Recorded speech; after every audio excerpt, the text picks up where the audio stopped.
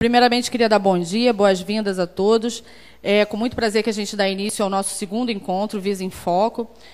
Para quem não, não participou do primeiro, o objetivo desse encontro é a gente discutir é, temas importantes relativos à vigilância sanitária, temas emergentes, e o objetivo é que a gente tenha uma discussão proveitosa, apresentar todos os atores envolvidos é, na questão temática de hoje, e que a gente tenha a oportunidade de discutir questões técnicas, científicas e regulatórias no que diz respeito ao uso do cannabis para fins medicinais. É, a gente tem uma programação de conversas. É, eu gostaria de agradecer a todos os presentes aqui é, todos os palestrantes. A ideia é a gente fazer uma discussão é, não tão formal. A gente vai ter uma mesa de abertura e, após essa mesa de abertura, a gente vai fazer a apresentação dos palestrantes com seus respectivos temas. Bom, é, para hoje nós vamos discutir o uso medicinal da cannabis no Brasil e a sua regulação sanitária. Nesta linha de pensamento, o canabidiol foi retirado da lista da Anvisa de substâncias proibidas e passa a integrar a lista de substâncias controladas. Sendo assim, Gostaríamos de agradecer novamente a presença de todos e chamamos para compor a mesa de abertura o diretor do INCQS, Dr. Otávio Presgrave.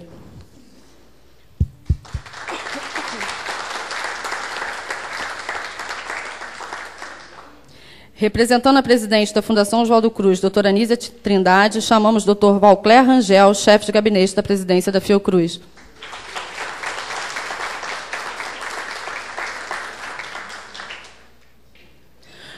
Muito obrigada. Após a abertura do evento, nós vamos dar continuidade à chamada dos palestrantes. Um bom dia para todos.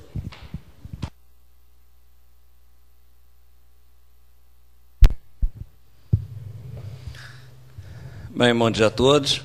É, conforme a Cláudia já falou, esse é o nosso segundo ciclo.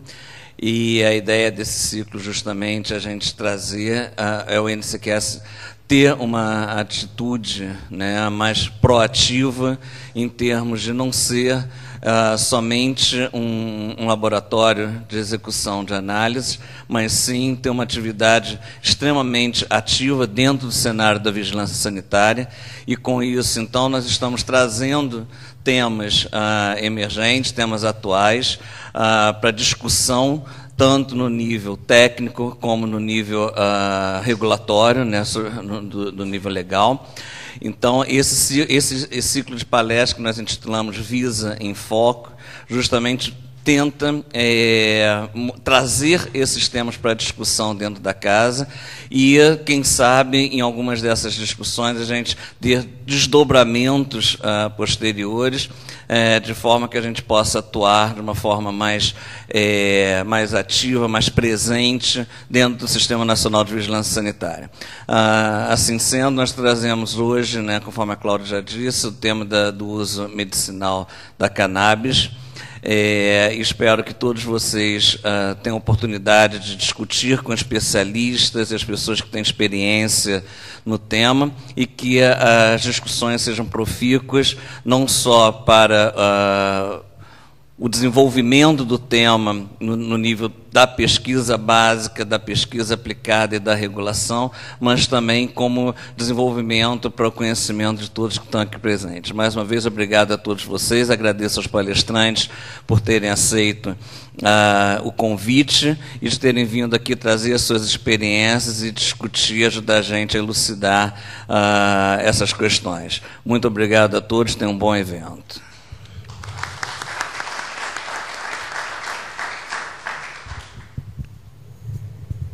Bom, bom dia a todos e todas, bom dia, Otávio. É, os colegas aqui, que, daqui do NCQS, colegas de outras, de outras unidades também, que têm acompanhado esse, essa temática. É, na verdade, eu vim aqui, eu vim aqui mais para conversar e assistir, mas a gente também tem um papel na presidência. Eu já vim acompanhando essa discussão já há algum tempo, desde que estava na, na vice-presidente de ambiente, então, inclusive tem colegas aqui como o Rogério, que estão aqui representando a, vice, a, a VEPAPS, né? Eduardo aqui também pela vice de, de produção e inovação, Heine, nós aqui temos já é, acompanhado muito essa, essa discussão, eu e Heine, junto da Associação de Pacientes, junto com os profissionais é, de unidades de saúde, que tem tentado, é, é, de algum modo, furar esse bloqueio né, acerca da discussão do uso medicinal da cannabis, que é uma, uma discussão que acaba sendo distorcida por conta da, do, do preconceito e discriminação que, que, que atravessa a discussão das drogas. E eu sempre costumo dizer, uma coisa realmente, nesse, nesse caso em outros, mas nesse caso especificamente, uma coisa não tem nada a ver com a outra. Né?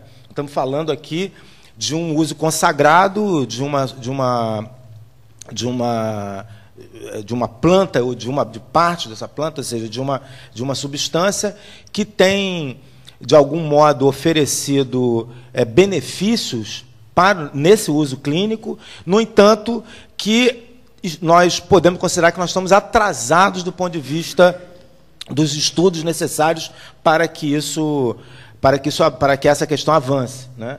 Outros países já avançaram né, nessa, nessa questão. E o Brasil, apesar de nós termos assim um sistema único de saúde, apesar de nós termos uma condição de capacidade técnica, como no caso do NCQS, no caso do Farmanguins, no caso da UFRJ, né, nós temos condições de ofertar produtos de qualidade para esses, esses pacientes, para esses, as pessoas que sofrem aí de principalmente de patologias no campo no, no campo da, da, neurologia, no campo do, ou seja, nessa nesse campo das, das doenças neurológicas e que e não só no, no, nos casos que são mais é, mais falados, né?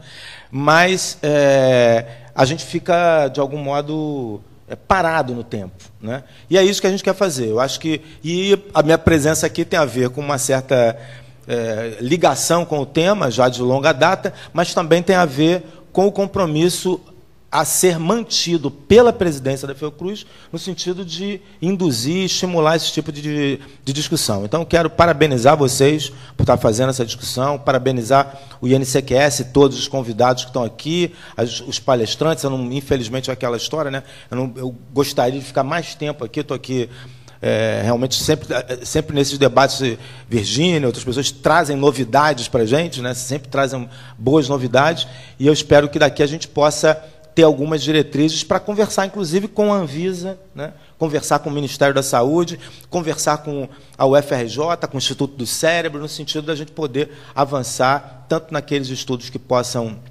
é, fazer a observação do que, do que a gente possa avançar de análise de qualidade desses produtos, mas também pensar em estudos clínicos que possam olhar para o uso medicinal da cannabis de um, de um modo é, mais, mais adequado e efetivo. Né? Então, essa é o nosso é o compromisso da gente na presidência. A Nízia tem acompanhado essa discussão de toda forma e espero que esse seja mais um passo para a gente poder trabalhar junto ao NCQS, o IFF também com, tem uh, um, uma importância bastante grande na história. Então, parabéns, Otávio, parabéns a todos os organizadores e deixar a nossa, à disposição a presidência para a gente manter essa discussão. Tá? Obrigado.